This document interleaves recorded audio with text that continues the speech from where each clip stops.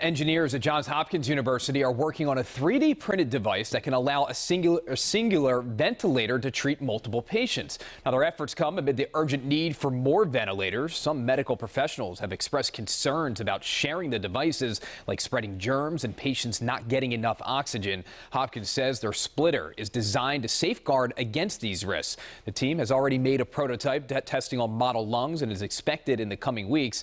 It will then need FDA approval.